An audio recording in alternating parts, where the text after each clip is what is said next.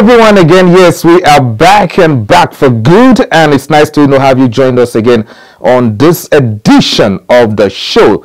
Yes, of course, uh, we'll be you know rounding up uh, the UEFA Champions League that went down uh, this midweek, and I'm not here alone. Yes, before I forget, my name is OJ Matthew, your regular host. Uh, yes, uh, right here on this channel. Uh, so all you need to do is to you know click that subscription you know button out there, and of course don't forget the notification you know bell so that each time we post content for you people out there, you surely get notified. So once more, my name is OJ Matthew, and uh, with me in the studio is Daniel today. Daniel, good day to you. Good day, Mr. OJ. Yes, it's nice to have you. Thank, you very much. Yeah, okay. Um, uh, yes, let's begin with uh, uh, the UEFA Champions League roundup. It was an interesting, no midweek, and uh, you were uh, with what you are wearing. I don't need to ask you uh, the club you are supporting, right? so I want to say congratulations uh, to your team, Chelsea. Yeah, that's recently that's what we do best. Okay. Um, Winning is a tradition. Uh, winning is your tradition.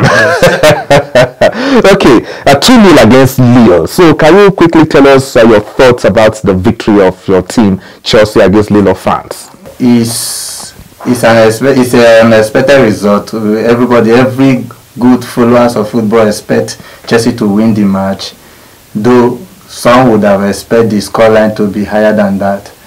But with the Chelsea team under Tuchel, we already know they don't score much goals. Hmm. Yeah, but they are always concerned about the victory at the end. So 2-0 was fantastic. The coach rested some players like Lukaku. Recently, we've not, not been that up and doing in a Chelsea jersey. So he prefers to go back to his former formation, which was what he used to win the Champions League. And it pays. You know, Kai Havertz was everywhere. He was a constant threat on the Lille defense.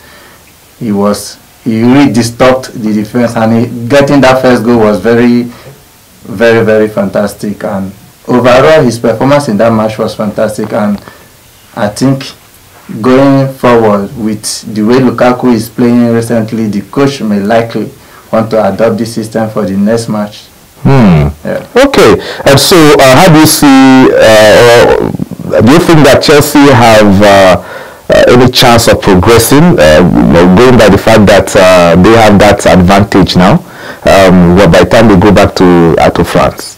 A, a team like Chelsea don't just get this kind of advantage and train to the air. Wow. Uh, most especially when they are playing against a team like Lille.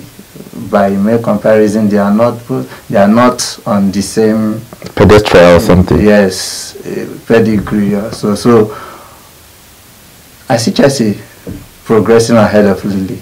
Hmm. Yes. Uh, no, the Lille team they tried they came to the competition as uh, League One champion.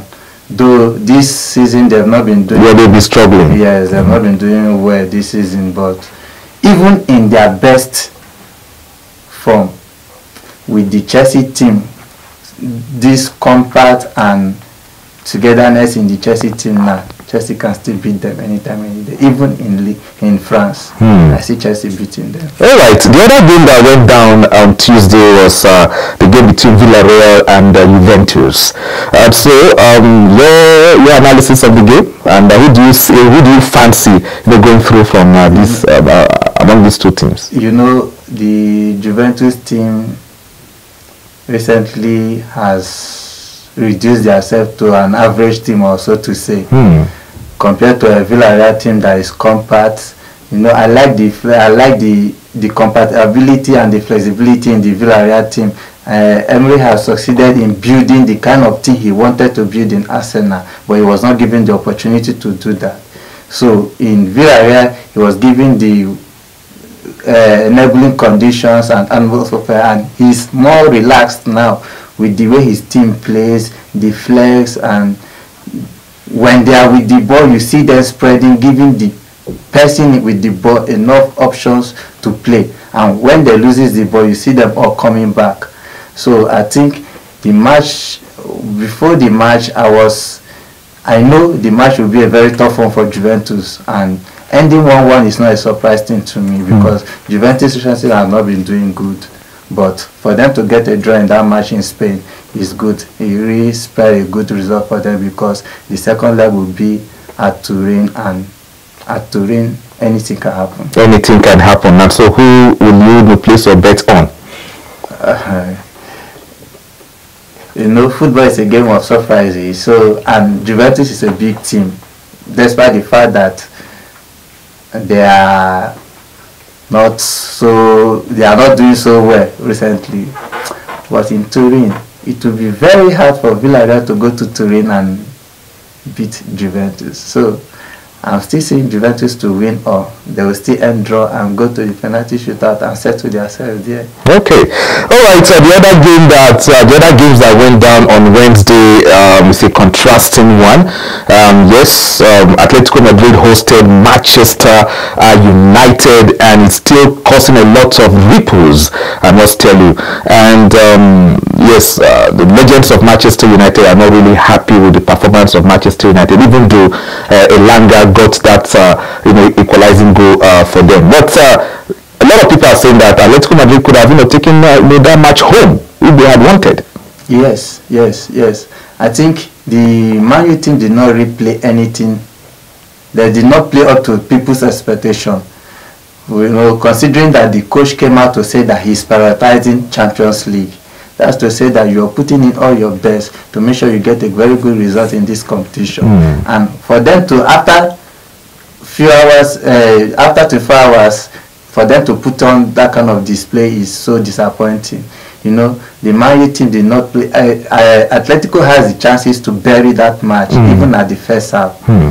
because after getting that goal at the seventh minute or so, I think they hit the bar, the crossbar also before the end of first half. So they have the chances to bury the match, but they didn't take their chances, and that's one thing about football. When you have the chances to take it, when you don't take it, it's you pay for it dearly. Hmm. So, Man U, before the introduction of Elanga we were not really doing anything. I saw Cristiano Ronaldo in that match. He was trying to motivate others, whereas you yourself were not doing anything special. So he was nowhere in the match. He was flat-footed, you know. The few times the ball get to his feet, he couldn't really use the ball to. Uh, he couldn't really produce any good thing with the ball. So Elanga coming in to give them that vital point was really, really, really very good because this is a young lad that I remember one of his interviews, he said whenever he's called upon, he always goes in to empty his tank. He doesn't keep anything in reserve. And with this Atletico match, you can see it. I think, if I'm not mistaken, that should be his first touch. Hmm. So for him to get a goal like that with his first touch in such a big match and also in a big competition like Champions League, it's a really a good one. So the whole thing now falls back to Man U because I think with the eradication of uh, away goals, I think coming to Manchester United uh, to Manchester it will be on balance scale. Mm. So now everything has to play. They have everything in their hands to play. So it's left for U now to go home, put their eyes together, go back to the drawing board and say, where did we get it wrong? This is not actually exactly what we planned. You know, put things together and make sure the second leg they got a very good result that will actually prepare them to round. All right, and uh, of course the other game is between uh, Benfica and Ajax. It ended, know, two-two. Uh, are you surprised with that, with that result? Mm, no, I'm not surprised because Benfica is at home. Though they have not been doing really good in uh, uh, in their league, but this a team we know they they are used to Europe. You know, most of the if they don't come to Europe, they will go to Europa. So they are used to playing in Europe, and they know exactly what it means to play in Europe. Ajax is a big team also on their own, but they were away, and the Benfica boys were just ready to put anything in there mm. to hmm. make sure they got a result. And at the end of the day, they did. Mm. So it's a nice one for them. All right. Uh, so this is where we, uh, you know, call it a day on this uh, this week's uh, UEFA Champions League roundup uh, right here on this channel. Please don't forget.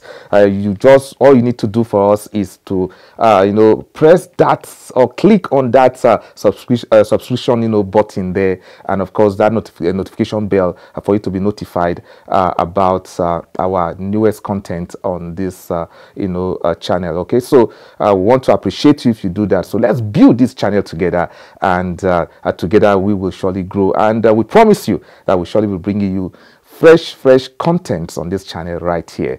My name is oj matthew and see you on the next one